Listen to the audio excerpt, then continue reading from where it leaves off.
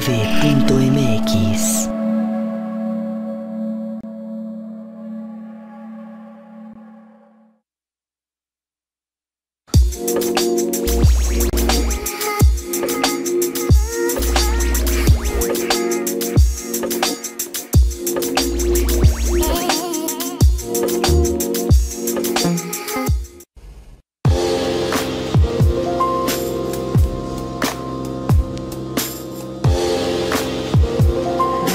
radiotv.mx presenta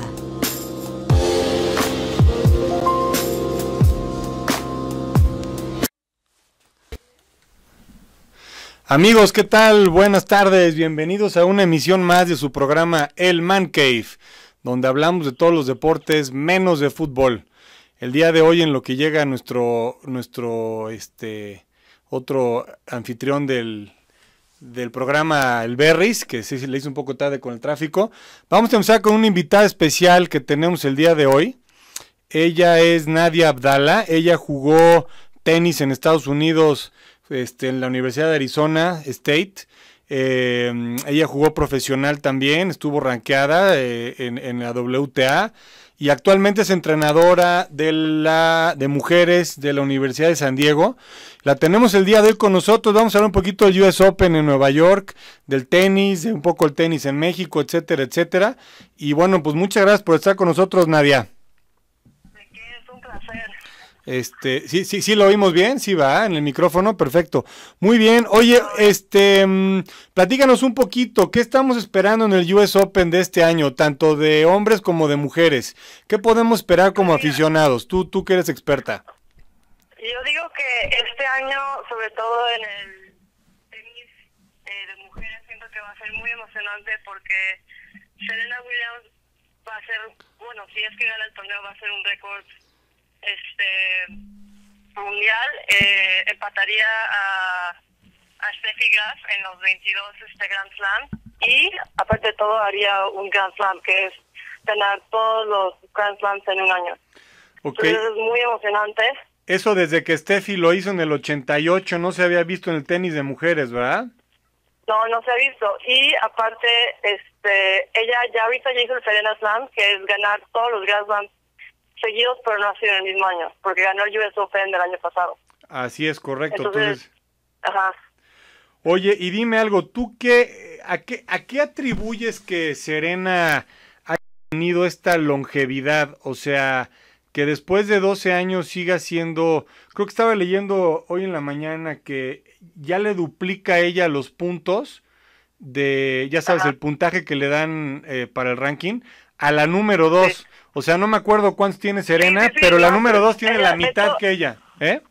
Sí, de hecho lo estaba viendo en la mañana yo también. Ella tiene como seis mil, sete- no, perdón, doce mil setecientos puntos y la número dos que es Halep tiene como seis mil cien, o sea, algo, algo ridículo, la verdad. Y yo siento que ha durado tanto porque es una persona que no solamente es muy fuerte físicamente, pero siento que Serena Williams mentalmente está en otro nivel, o sea, que siento que en el mujer de- en el tenis de mujeres lo mental no está ahí, por eso hay mucha como que en los cuando no está jugando cualquier persona puede ganar el torneo, ya sea una calificadora o una una que esté sembrada, pero yo siento que la fortaleza mental de Serena Williams es es lo que la lleva a estar en donde está ahorita. Oye, dime una cosa, a tu juicio, ¿por qué hay tanto, por qué no se ve la consistencia en el tenis de mujeres como lo como el que se ve en el tenis de hombres? O sea, por ejemplo, eh, o sea, tenemos en el tenis de hombres siempre a los cuatro, ¿no? O sea, siempre está Sí.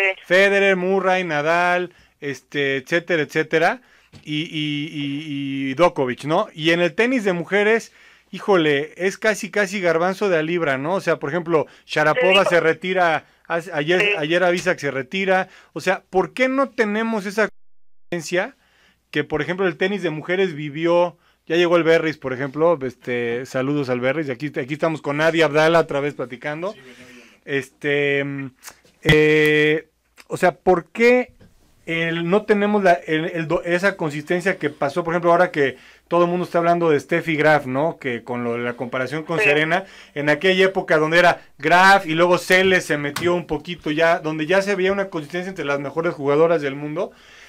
¿Qué pasa Yo en el tenis de porque- mujeres? yo digo que es porque no no saben manejar la presión como los hombres, por alguna razón. Pero, por ejemplo, el mejor ejemplo es Bouchard, que el año pasado, en 2014, llegó a la semifinal y a la final de muchos Grand Slams, en este año no ha podido ganar, o sea, no ha podido ganar partidos, o sea, ya menos torneos. Bueno, y a Zarenka. O- como, sí, o Ivanovic acaba de perder en la primera ronda a ver el US Open. Entonces yo digo que es a las que, o sea, no saben manejar la presión, ya sea con los medios, con la publicidad, este, de repente de un día para otro, este, todo el mundo quiere saber de ellas. Y, y siento que como ahorita el tenis de mujeres todo es muy nuevo, entonces como que no se han acostumbrado a la presión, no, no se han acostumbrado a, a estar, a ser el, el, no sé, como estar en el centro de atención. Y, y también... O sea, es un tema 100% Siento que- mental, o sea, no, no interfieren los que es golpes. mental. No, no, no, yo digo que es 100% mental, digo que es la presión. Y más, el mejor ejemplo es Bouchard. O sea, Bouchard ahorita no está en el nivel de a lo que estaba el año pasado y es porque tiene contratos con Coca-Cola, contratos con no sé cuántas más empresas. Entonces, igual y la- su prioridad ahorita no ha sido el tenis. Igual con Ivanovic, que salió en no sé cuántas portadas en este año, Guzniaki lo mismo. Bueno, pero en Serena la- tiene los mismos contratos o más que todo mundo junto y sigue y sigue dando de qué hablar, ¿no? Sí, pero no sé por qué en- con las mujeres no ha, no ha habido esa consistencia y, y la única teoría que yo tengo es por eso. Ok. No se me ocurre nada más. Ok, muy bien.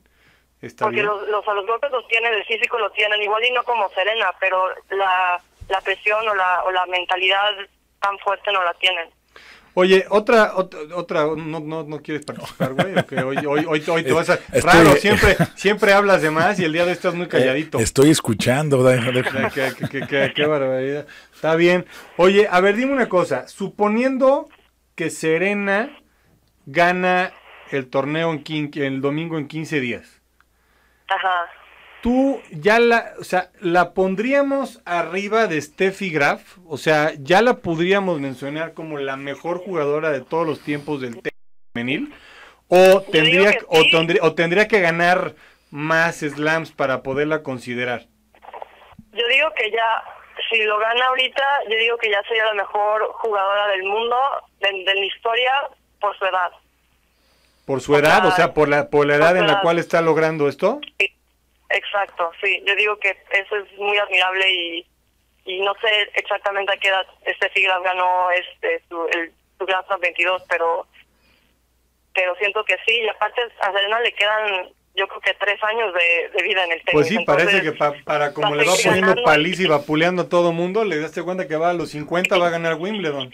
y no, y no se va a retirar hasta que, te juro, yo digo que hasta va, va a ganar 30 Grand Slams, o sea, para de verdad dejar su marca. O sea, ella no quiere dejar Entonces- duda de quién va a ser la mejor en la historia. Sí, esa es la gran diferencia, que Serena todavía le queda, le queda mucho gas para, para seguir jugando.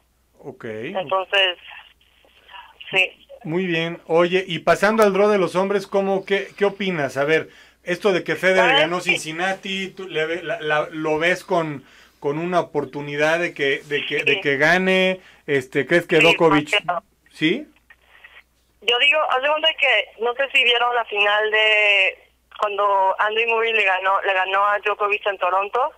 Como que Djokovic, digo, es un jugador, es que para mí es el jugador más completo de todos, pero como que últimamente se está viendo, so- bueno, según yo se ve más cansado. En la final como que ya no está, no está, siento que le está enojando mucho y lo mismo pasó en la final contra Federer, como que no tiene la confianza en las finales que, que la tenía antes cuando jugó en O sea, ¿tú no crees que, por ejemplo, la final de Cincinnati, que lo discutíamos el programa pasado, que se vio muy claro cómo Federer cambia su estrategia y ataca la red y ataca la red, Sí. tipo, o sea, te de cuenta Sí. que estábamos viendo a Edberg jugar otra vez hace 20 años. Sí. Sí, y aparte Federer acaba de acaba de, de hacer un nuevo tiro que es el el chip incoming en en, en en ¿El la cuál, perdón? ¿El cuál? de- del segundo saque. ¿El cuál, ¿Viste que perdón? Cuando como chip en charge que le Ok. pega de slice al segundo saque y se viene de- a la red Ajá. y la agarra de súper bote pronto, o sea, se para como a un metro de la de la raya de servicio. En un segundo saque, él se, él, él, él se para adelante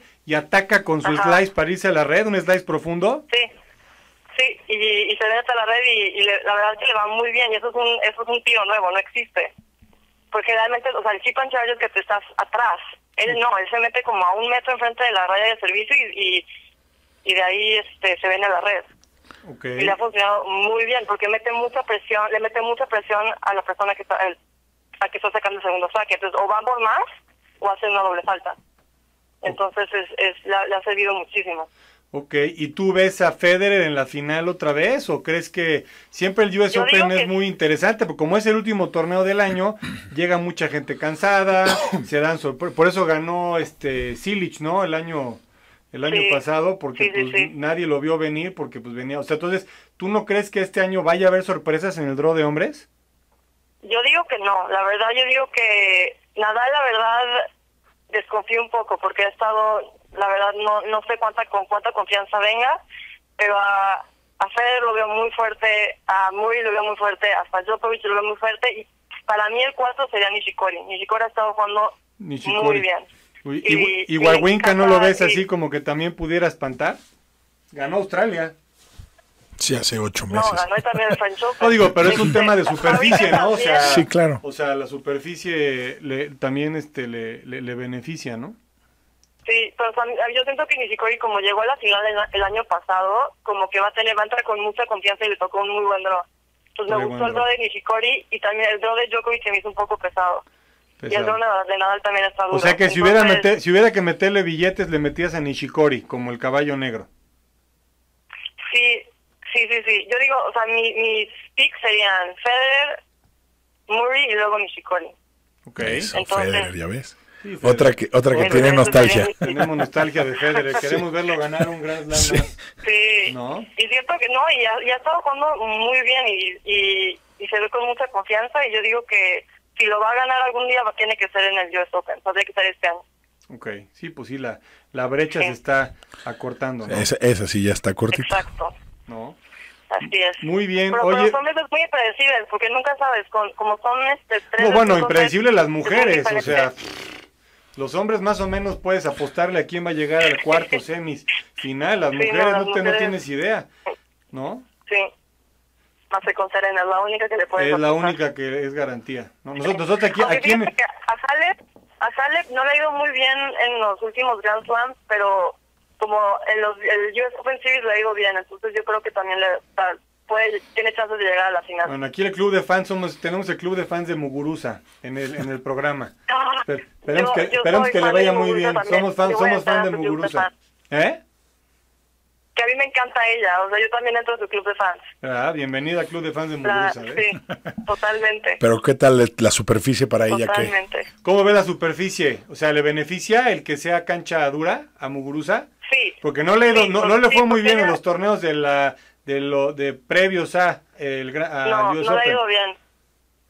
Pero ella, cuando son torneos grandes, juega mejor. O sea, ella maneja la presión muy bien y por eso en, en, en el en Australia Open le fue muy bien. En, creo que en, en, en el French Open también le fue bien. Entonces, ella la, la presión la maneja muy bien y, y como es una jugadora muy agresiva, le va muy bien la cancha dura. Así que ella puede ser una de las sorpresas. Fácil. Mm, Muy bien, me parece muy bien. Oye, y rapidísimo para concluir, ¿cómo ves el tenis mexicano? Platícanos, ¿qué, qué, qué, qué hay que, qué has visto? ¿Qué, qué viene del tenis mexicano? Mira, ahí jugó Marcela Zacarías, jugó la calificación del US Open y ganó una ronda y perdió la segunda ronda. Y también está Victoria Rodríguez, creo que las dos están top, están como dos, de 280 para abajo. Ok, Y les dio mucho mucho potencial a ellas. También ahorita en los juniors hay eh, una niña eh, está jugando en el main draw y Del junior. hay dos o tres ajá, del juniors en la cual entonces siento que el tenis mexicano poco a poco va bien este siento que a veces las niñas que yo que estoy en el en tenis colegial siento que las niñas no consideran la opción de jugar tenis colegial y luego jugar profesional Como eh, sobre para todo cuando estoy reclutando, sí, o sea, ahorita que estoy reclutando a niñas mexicanas, siento que muchas se quieren ir directo de junior a pro y, y no siempre es este el caso. ¿Por Y qué? ¿Por que- qué? ¿Por qué? O sea, ¿tú crees que el fogueo de la NCAA les pueda ayudar a que directamente jueguen los torneos de la WTA? sí, pero no pasa, o sea, siento que más ahora que la, la, la vida de un tenista dura más y el, el juego es tan físico, siento que ir a jugar college tenis puede ayudarte a madurar, puede ayudarte a conocerte mejor, a, a manejar otro tipo de presión. Y si eres muy buena en el tenis colegial y estás ganando todo, adelante, váyanse a jugar este, la, en la ATP y en la WTA. Pero si no es el caso, siento que al menos, si no lo haces en, como tenista profesional, al menos tienes una carrera para, para no sé, para, para el resto tu vida. Entonces, no sé por qué en México en el tenis no consideran, y más de mujeres que son, que en la eh, AA te dan ocho becas, no entiendo por qué las jugadoras mexicanas no consideran jugar tenis colegial y luego de ahí ya ver, ya ver si cuando acaban la universidad se van de pro o antes, y si les va muy bien. Ok, entonces tú considerarías Pero- que tienen que, que, que tendrían que voltear más a las universidades de Estados Unidos. Y de una cosa, que sí, porque- ¿están reclutando las universidades de Estados Unidos? O sea, activamente vienen a los torneos como los nacionales, o sea, a reclutarlas? ¿O, o, o cómo, o cómo, niña- cómo se ponen en contacto Sí. con los talentos? Eh, hay hay dos, hay tres torneos de grado de juniors en México. Uno en la Ciudad de México, creo que son uno en Querétaro, uno en Ciudad de México, uno en Querétaro y uno en Yucatán, que es el- en diciembre, el más grande. Y y, por, y todos los entrenadores van a esos, o, o la mayoría de los entrenadores de buenas escuelas van a esos torneos. Y de hecho, hay- ahorita hay una niña que se va a ir a Clemson, hay otra niña que se va a ir a SMU. Entonces, poco a poco siento que que las niñas se están abriendo a la idea de ir a- al tenis colegial, pero las buenas todavía no. O sea, las que de verdad tienen o que están rankeadas arriba no lo consideran para nada. Y en el caso que de, es un gran error. y en el caso de los hombres, ¿pasa lo mismo? ¿O sí están En los becando? hombres es más difícil porque los hombres generalmente nada más tienen 4.5 becas, entonces hay mucho más demanda y la verdad no no, no sé muy bien de cómo es cómo es el caso ahí. O sea, en las universidades de Estados Unidos hay 8 becas para mujeres y hay 4 becas, 4.5 para hombres. sí. Y esto es por lo del Title IX que le Esto llaman los gringos, ¿no? uno, sí. Porque fútbol americano se lleva, sobre todo en las escuelas grandes de División 1, fútbol americano se lleva casi todas las becas. Entonces, Pues para compensar, para compensar la equidad de género en becas, entonces meten más en, en, la- en los deportes como, como tenis, como golf, etcétera, etcétera, más becas de mujeres para compensar lo del americano, ¿no? Claro, sí. Ok. Muy bien, pues muy bien. Entonces, para, No, muy sobre todo interesante. para las, para las niñas los juniors, es, es una gran oportunidad porque te están pagando básicamente para estudiar, mientras que estás haciendo lo que más te gusta, que sería jugar tenis. Así es. Y probándote con otros talentos, ¿no? También igual. Claro. Pues muy Si bien. estás en un- en- así es. Eh, muy bien. Pues muchísimas gracias por estar en el programa. El Alberri hoy le comió la lengua al ratón. Entonces, Al revés, uno que está aprendiendo. ¿eh? Finalmente, finalmente, no, no, no, qué bárbaro. Hoy sí hubo una pareja que supiera de tenis. Hoy sí hubo una prensa ¿No? de tenis, claro. Entonces, este, pues muy bien, estaremos en contacto a ver si la- el programa de la semana que entra nos vuelves a acompañar ya con la primera Claro semana del US Open ya terminada Perfecto. para ver este La cómo semana que entra ¿Mande? La semana que entra estaría en el US Open, así que te puedo dar un reportaje. Tú vas a ir completo. al US Open, así es correcto. Entonces, la- de ahí directamente, Sí. de ahí cómo ves el ambiente, cómo ves todos los jugadores. Exacto. Y a ver, la semana que entra estamos en contacto contigo. Muchas gracias por acompañarnos, Perfecto. ¿eh? Gracias, Nadia. Gracias a ustedes. Gracias. Hasta luego. Gracias. Adiós. Bye. Qué interesante, ¿no? Lo que platica de lo de las becas, no por el número, sino la verdad, pues, qué, qué bueno que las niñas lo estén aprendiendo, ¿no? O sea, yo creo que si analizas el modelo deportivo de los americanos, pues básicamente es ese, ¿no? O sea, te- te estudias la prepa, de ahí vas a, a A la, la universidad donde sigues fogueando. Y si eres y de ahí- bueno, y de ahí vas subiendo. Y ¿no? normalmente puedes brincar como todo, ¿no? O sea, los de básquetbol, uno, dos, tres años, americano, uno, dos o tres, o sea, pero todos como que se van fogueando y ya solitos se van dando cuenta de la capacidad que pueden tener, porque aparte también cuando eres bueno, en, especialmente en deportes individuales, pues, normalmente tienes invitaciones a eventos ¿no? Lo mismo pasa en el golf, ¿no? O Sí, sea, de- puede haber, amateur, puede haber ¿no? un torneo que te invitan como amateur y entonces vas probando y también te vas dando una idea y pues bueno, la verdad es el modelo que ha seguido así y mucho Estados de lo que Unidos. platicaba, él- ella mencionó mucho del tema de la longevidad, o sea, es congruente el hecho de que tú como un chavito de 17 años, en vez de que brinques de la prepa a la ATP, te fogues cuatro años en una universidad Me- entrenando no, no, claro. a la, o sea, al mismo ni- No, mismo y lo nivel, y- y lo con que- entrenadores, con nutriólogos, dice, con Exacto. toda la bola de O cosas. sea, la verdad hay que, hay que, y también en algún momento, yo supongo que los padres tienen mucho que ver, este, tienes que ser también un poco realista, ¿no? O sea, hay millones de chavos que aspiran a ser algún tipo de atleta profesional. Y pues invariablemente, pues de esos millones, El el, el punto porcentaje uno, que cero, lo logra es poco. Entonces, pues la verdad, tener la oportunidad de ir, ir a universidades este, Hombre, que te- reconocidas, que te, paguen la educación, den una, o sea, al educa- final te den una de educación. oye, bueno, Sí. no brincaste, no pudiste ser junior, tu premio de Pero- consolación es, tienes un título pagado Claro, gratis. y, ¿no? y aparte de gratis, pues normalmente son escuelas reconocidas que pues de ahí te pueden llevar a poder conseguir un trabajo que pues al fin y al cabo la mayoría de estos atletas es lo que va a terminar haciendo, ¿no? Y dicho así como lo pone, pues te das cuenta de que la formación de un atleta mexicano es completamente diferente. Diferente, O sí. sea, en vez de que las ayuden, las empujen, les digan más o menos el modelito o por dónde caminar, pues igual y les alimentan el ego de que son muy buenas y que van a ser la siguiente superestrella de México.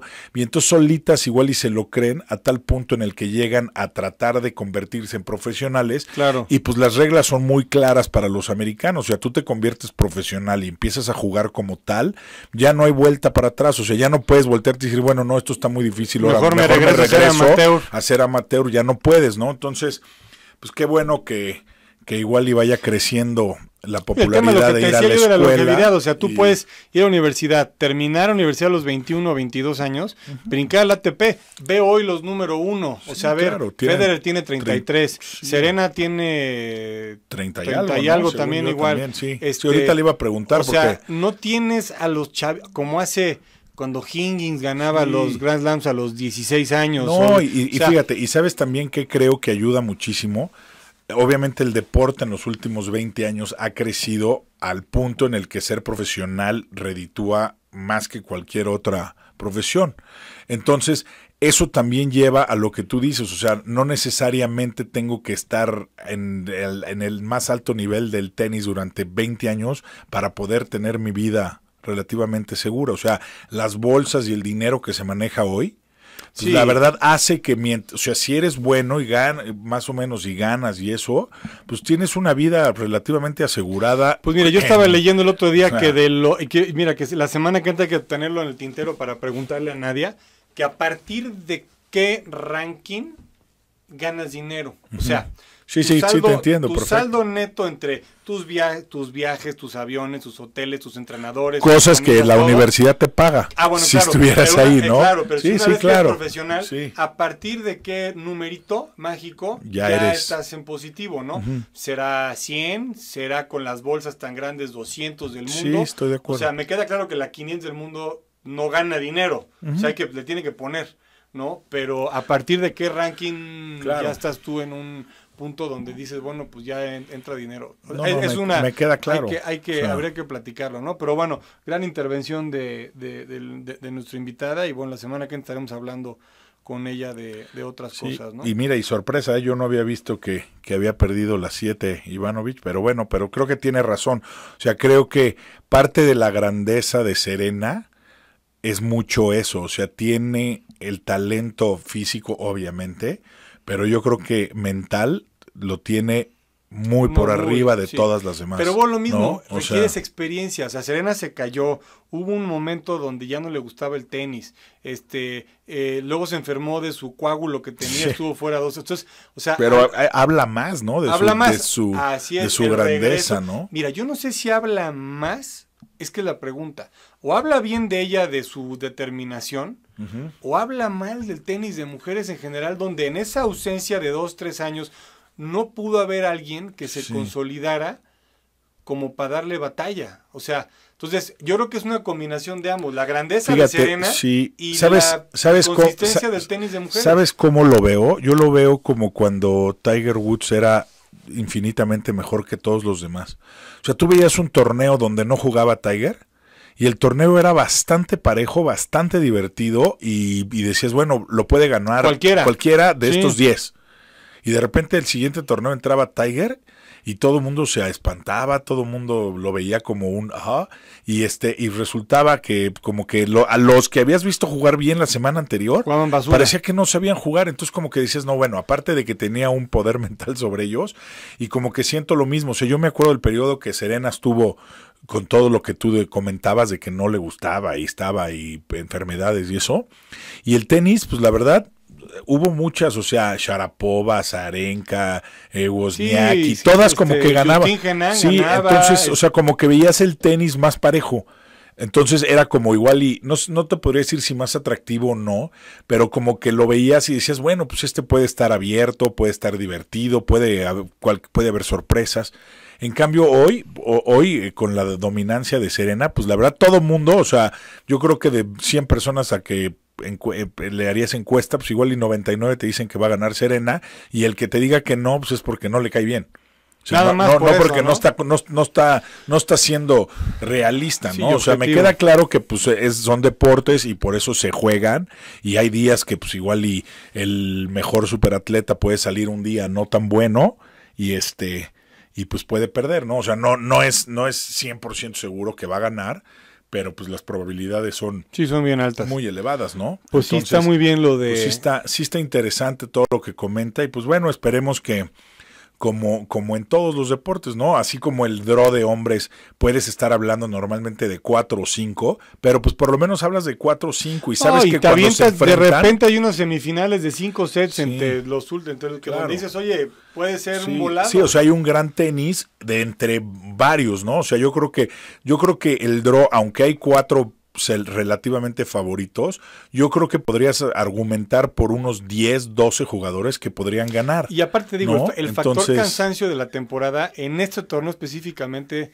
pega, o sea, por eso ves la sorpresa. Sí. El año pasado Silich ganó, todo el mundo estaba molido. O sea, no, no por quitarle mérito a, Sí, no, no, no, lo entiendo, lo a- o a entiendo. Nishikori que llegó, pero o sea, al final no es lo mismo jugar Sí. Wimbledon, o sea, saber que tu pico de preparación va a ser en el eh, este en, en Roland Garros Wimbledon que se juegan en junio julio, o sea, Sí, al sí, final y la temporada, los Masters, los, entonces que llegar cansado, eh, son factores diferentes, ¿no? Claro, Entonces, no, no todo afecta. Vamos a, vamos a esperar el torneo y a ver qué pasa. Muy Oye, bien. antes de entrar un poco en el tema del americano, le duró 15 días a Speed, el número uno del mundo. ¿Qué le pasó en el 15 Barclays? 15 o días. 10, una semana, Una- ¿no? Una semana. ¿Qué le pasó? Mira, una, Digo, se- a- una- una semana, pero pues la verdad es un poquito la rareza de cómo determinas al uno del mundo, ¿no? O sea, es un proceso que lleva puntos a lo largo de los últimos tres años. Sí. Entonces, pues la verdad es chistoso, ¿no? Un jugador que juega, juega mal, no pasa el corte, ella es el uno del mundo, se va a dos, y el que lo recupera es un jugador que no jugó. Que no ha jugado en. No, no, no sí, jugó. Claro. O sea, fue Rory. O sea, Rory vuelve a tomar número uno y la verdad un poquito el, el- la contraparte es exactamente esa. O sea, al no jugar Rory no estableció puntos en el torneo, entonces su total, por así decirlo, se quedó igual. Mm. Claro. Y Speed al jugar y jugar mal, se, le le- detrac- que- se le quitan puntos y entonces está tan pareja la S que pues entonces Oye, retrocedió un Y poquito. dime pero algo rapidísimo antes de entrar. Pero- si suponiendo que Jason Day ganara el FedEx, está muy interesante. tú lo. po- O sea, Sí, o sea, ya, o sea, ya sé a dónde vas la pregunta. el jugador pero- del año, todo el sí, mundo es Speed, Speed, Speed, Speed, Speed. Sí, Gana el PGA Day Sí. y gana suponiendo el FedEx. sí. ¿Quién es el jugador del año? Si le preguntas a los jugadores, yo creo que te dirían que Speed. O sea, para los jugadores, los majors tienen un valor muy elevado, o sea, Sí, muy sí. alto. O sea, para ellos ganar un torneo major, eh, yo creo que equivale a ganar tres o cuatro torneos de los demás. O sea, así de, así de drástico lo ven, aunque de todas maneras hay torneos como es el Players, como por ejemplo ahorita los playoffs, donde juegan los mejores. O sea, el campo, el field del torneo de Es fin como pasado Masters, es, claro. es lo mismo que un torneo mayor. Sí, o sea, lo que pasa no tiene la tradición, no tiene el, el, No, pero el auge, juegan- no juegan tiene- el mismo golf, Entonces, el mismo Sí, entonces, pues, honestamente, si lo ves así, Para ti, field, suponte que gana Jason Day el FedEx. Para ti, ¿quién es el jugador del año? Yo creo que sería Jason Day. Porque al final, para ganar el, para si gana el FedEx, va a terminar ganando el- la copa que le están tratando de dar una gran importancia, aunque todavía no logran que sea tan importante como un Major. Este, el- los lugares que estuvo en los Majors también fueron básicamente puro top 10. Este, el US Open, no que lo haya dejado ir, porque no lo dejó ir, pero claramente era un Jason Day disminuido que Por estuvo su- sí, en claro. los últimos grupos del último día. Sí. En Este, un campo muy difícil. ¿no? Regresa al PGA y hace un torneo espectacular. Y bueno, y ahí, lo que hizo el fin de semana ¿Qué tal fue. el poteo? Creo que ver, tenía el hoyo, estaba del tamaño. A ver, era, es, e- es un golf del cual te das cuenta cuando un jugador está en ritmo y forma. O sea, hoy, ho- hoy, hoy, hoy, si tú le preguntas a los expertos de golf quién es el mejor jugador del mundo, te tendrían que decir que es Jason Day. Hace cuatro meses era Speed y hace ocho meses era McElroy. sí. Es un poquito la, vo- Relativo, la ¿no? volatilidad del deporte. O sea, el deporte es, es- es tan complicado en ese sentido mantenerte en la cima, que yo creo que por eso el ranking de jugador del año lleva tanto tiempo de en cuanto a llevar números y demás, Claro. ¿no? O sea, Y ponderas muchos factores en muchos verdad torneos. Es, es algo muy interesante. Te juro, me gustaría que ganara Jason Day el, el FedEx, para ver exactamente cómo queda la votación. O sea, yo creo que yo creo que en la votación van a poner a Speed como jugador del año, básicamente por los dos majors que gana, porque te repito, Bueno, y, pero y- y quedó en el en, pero en el sí, en no, no, no, o sea, en fue Open quedó fue, en fue tercer 1 lugar, 1 ¿no? 1 1 Sí. 2 2 Sí, o claro. sea, o sea, es, es algo es O sea, algo deja tú los que ganó, es algo no ganó, es algo impresionante, la verdad. ahí, exacto. en Entonces, si lo analizas como majors, pues la verdad la, la única otra temporada que fue así de espectacular fue la de Woods cuando ganó tres, que quedó 1-1 4-1. Entonces, pues la verdad sí es impresionante, ¿no?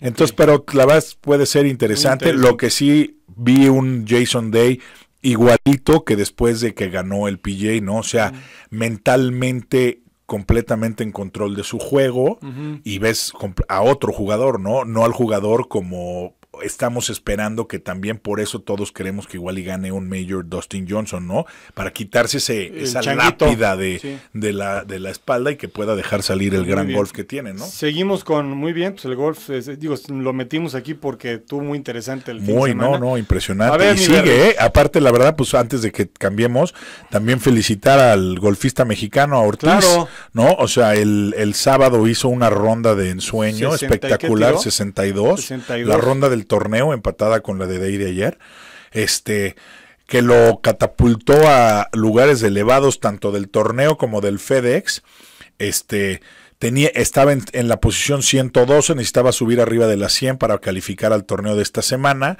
lo cual logró. La, jornada del, de ayer fue bastante mala, especialmente el primer hoyo. O sea, él empezó con un cuádruple bogey en el 1.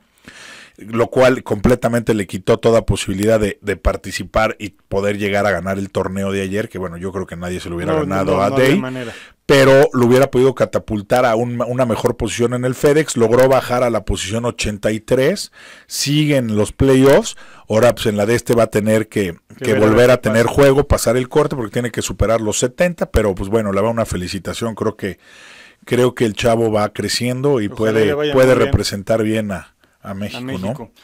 Oye, a ver, fuiste a Dallas a ver a tu equipo.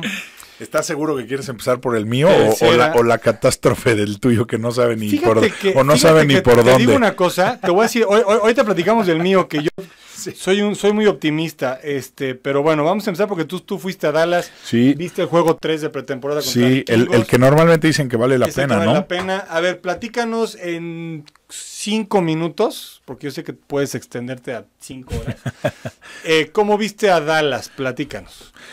Pues mira, la verdad, todos los juegos de pretemporada hay que verlos con, con bastante tranquilidad. No, no puedes ver el score, o sea, el score no, no influye. más bien tienes que ver los, a, a los ciertos jugadores que quieras ver y apreciar si están o no relativamente en forma. Ok. Este, y bueno, una vez dicho esto, yo vi al equipo bastante bien. O sea, lo vi la línea, que es supuestamente su fuerte. Eh, Zach Martin no jugó, jugó Bernardo en su lugar. Y la verdad, estuvieron bien, no te puedo decir que espectaculares. Este, abrieron buenos hoyos, tanto McFadden como Randall lograron correr ¿Quién va, bien. quién va a ser el, quién va a ganar el Mira, yo creo que, yo creo que ayer estaba leyendo un reportaje de uno de los mejores este, escritores para la página web de, de Dallas. Yo creo que no va a haber titular. O sea, yo creo que va a empezar Randall. O sea, yo creo que va a ser el, el denominado starter. Ajá. Pero yo creo que va a ser 100% Por comité. por comité. O sea, yo creo que al final, si van a correr, ponle que corran 25 veces en un juego, yo creo que se van a repartir 12, 10, 4 con este Dunbar. O sea, la verdad yo creo que sí lo van a hacer por series. O sea, y yo creo que igual iban a dejar al que, o sea, igual iba un, una o dos series uno, una o dos series el otro. Y si de repente uno empieza a hacer las cosas muy bien, pues igual lo dejarán y lo dejarán ese juego. O sea, jugará es- con la, mano caliente. Exactamente. Yo, yo creo que así se la van, así se la van a rifar, a menos que pues, la mano caliente empiece en el torneo, en el- los juegos, empiece a, a quedarse caliente sea entonces, definitivo entonces alguno. como que solito gane el puesto, ¿no? segunda O sea, yo pregunta. creo que, yo creo que ahorita no hay, No hay ni nada. uno, no hay ni uno definitivo. Segunda pregunta, ¿cómo ves la defensa secundaria con la pérdida de Scandrick de- por la temporada? ¿Viste sustitutos? ¿Cómo, Pues mira, cómo, el- cómo van a estar este, alineados que- corners, yo, yo creo que nunca puedes este, sustituir al, al- a tu mejor corner. Este, aquí la esperanza es que Claiborne, que es un jugador que ya entra a su cuarto año, que fue drafteado en la selección 1 y que la verdad la mayoría ha determinado que es relativamente un fracaso, este, mejore su juego. Este, ahorita todo indica que se van a quedar con los jugadores que tienen. O sea, Tyler Patmon está jugando un buen nivel. Yo creo que es el que el primero que va a empezar tratando En de el lugar cubrir, es- en sí, el lugar en, el, en el slot, ¿no? Que es que agarra al, al- al ala que está dentro del pegado a la línea, que pues normalmente es el, el chaparrito que más veloz y que tiene más, más corte y eso, ¿no? Este lo veo bien, o sea, Byron Jones que lo draftearon este año en la primera selección y, y lo, lo tenían, la mayoría lo tienen como corner, yo creo que lo van a usar en una posición de safety y lo, lo tendrán de corner como segundo equipo, ¿no? En caso de que alguien más se lastime, entonces lo moverían y, y lo pondrían así. Eh, vi muy bien a la línea, o sea, yo creo que eso puede ayudar. ¿Defensiva? Sí, yo creo que eso puede ayudar más a la pérdida de Scandrick, ¿no? O sea, el año pasado fue un equipo que le llegó poco al core, o sea, nada más, nada más este, lograron capturar al core 28 veces en 16 juegos, este, y que estuvo en la parte baja de toda la liga. Este, la verdad vi muy bien al, al novato este Rando Gregory, a- al, al que es su segundo año a DeMarcus Lawrence. De Marcus este, Lawrence. Lo vi muy bien. de. Entonces, pues la verdad, la verdad, este, siento que puede generar más presión. El grupo de linebackers, pues todavía faltan. Obviamente está suspendido McLean cuatro juegos, entonces todavía le falta un poquito. Pues yo creo que todo, ¿no? Yo creo que. Bueno, ya la- sumando a Hardy, cuando haya que sumarlo, también se va a o ver sea, la verdad, ¿no? tristemente, y lo digo tristemente porque, pues bueno, pero es igual, es parejo para todos, pues el, el calendario empieza con gigantes y el segundo juego es con Filadelfia, que pues normalmente Divisional, juegos ¿no? divisionales valen doble, ¿no? Entonces, pues a veces como que igual te, te gustaría esperarte un ratito para medio agarrar ritmo y que los jugadores que, pues la verdad, juegan poco, ¿no? O sea, al final todo el mundo pregunta, Des Bryant, pues Des Bryant no ha jugado una sola jugada y no va a jugar, o sea, ya declararon No. que el jueves no juega. No juega. Entonces su primer, su primer snap de verdad va a ser el va a ser el domingo 13. Entonces, pues igual está un poquito fuera de ritmo y eso, pero pues ya veremos, ¿no? O sea, al final entrenar ayuda, pero nada sustituye como un juego de verdad.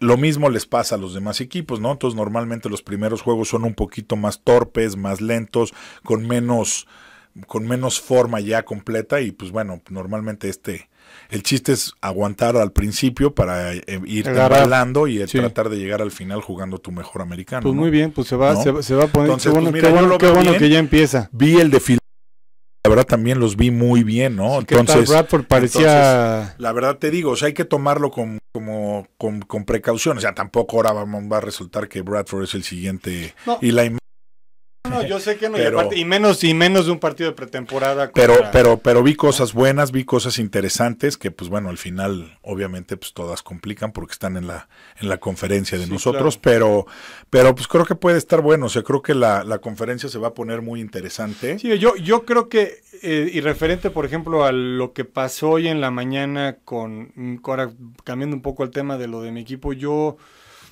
eh, creo que es la primera vez que notamos una decisión donde el dueño No influyó. Pues influyó. Bueno, no sé si O leíste sea- un reportaje que lo querían cambiar. Sí, pero bueno, Ah. al principio, Sí. toda la, todo lo que fue el resto, desde que lo nombraron a RG3 eh, titular en febrero, hasta que la NFL el- dictaminó que sí estaba, sí. o sea, al final yo, yo, yo creo, ya, le, ya- yo he leído todo lo que pasó en la semana, eh, la NFL extraoficialmente les dijo, no tiene problema Griffin, en un comunicado, pueden, en, en lo que sea el reporte oficial escrito, ya lo vimos, puede seguir entrenando. Sí. Entonces, entrena toda la semana, y a lo de los trancazos en un, con un neurofísico, ya no es un neurólogo, el neurofísico fue el que determinó independiente. sí, no, no, claro. no, no estamos, no estamos una o dos semanas.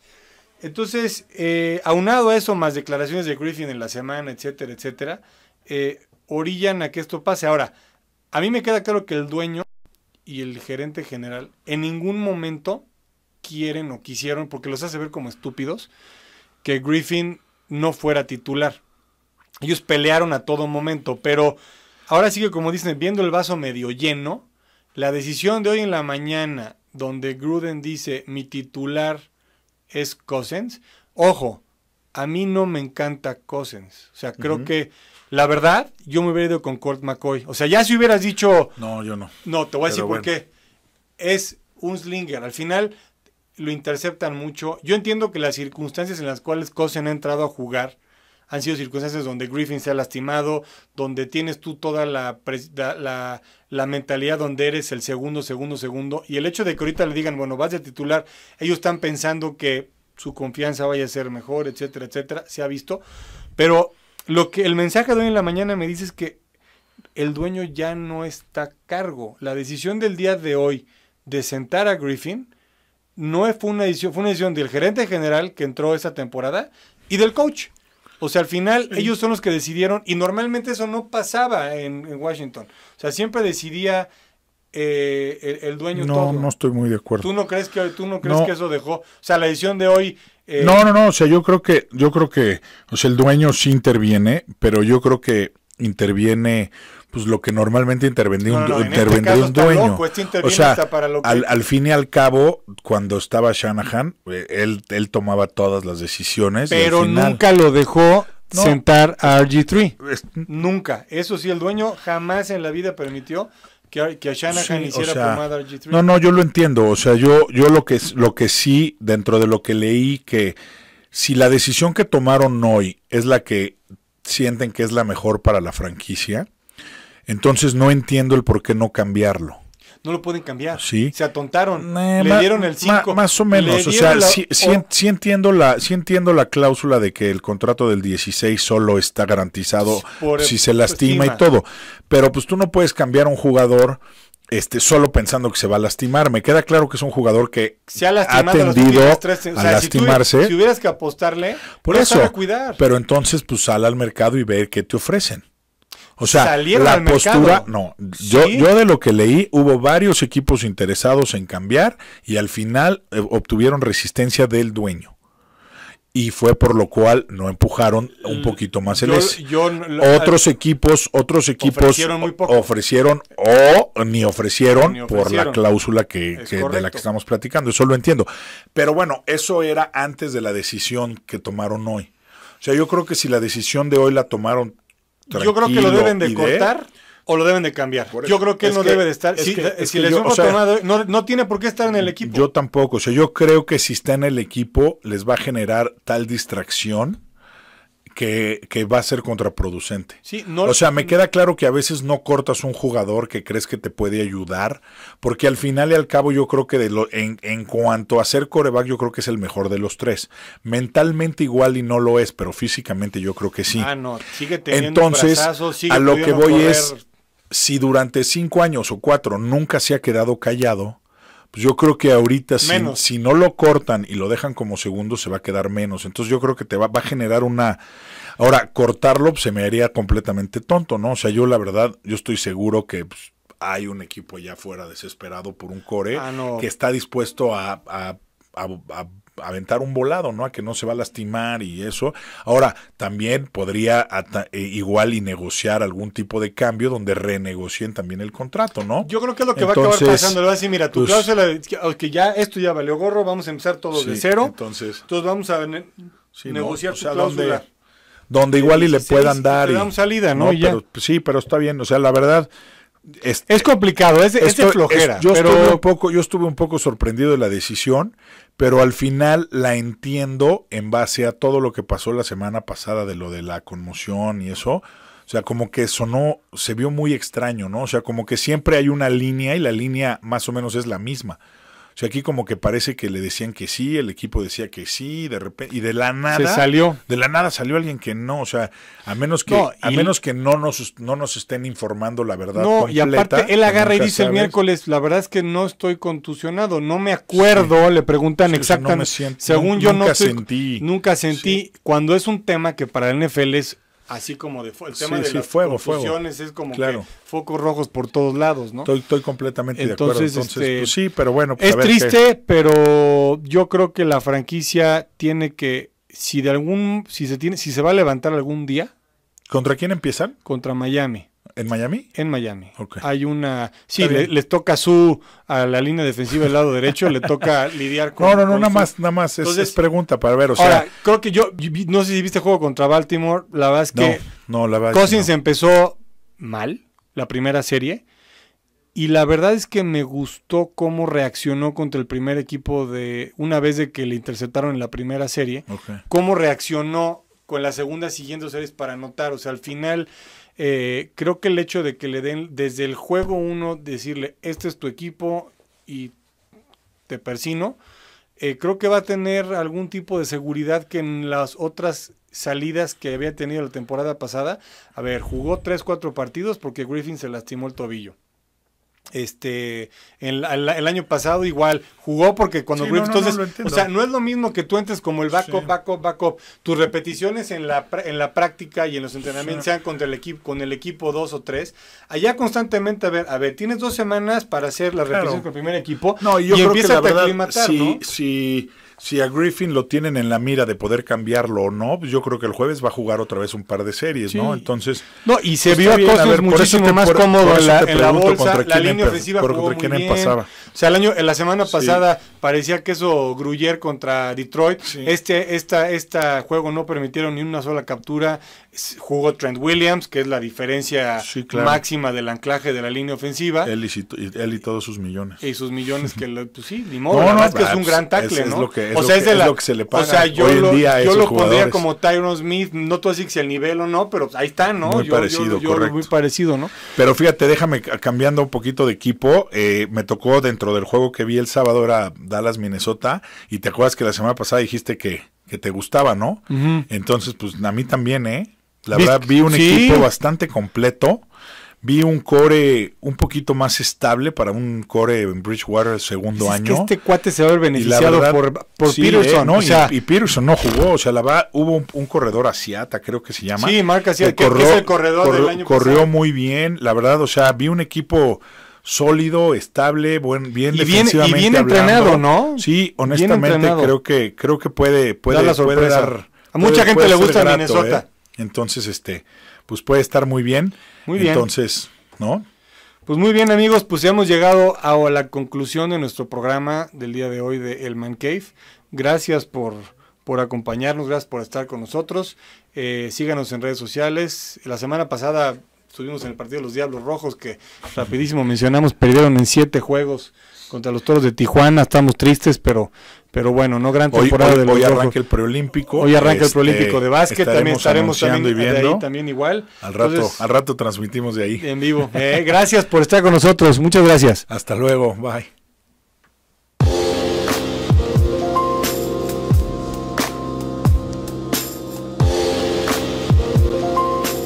Radiotv.mx presentó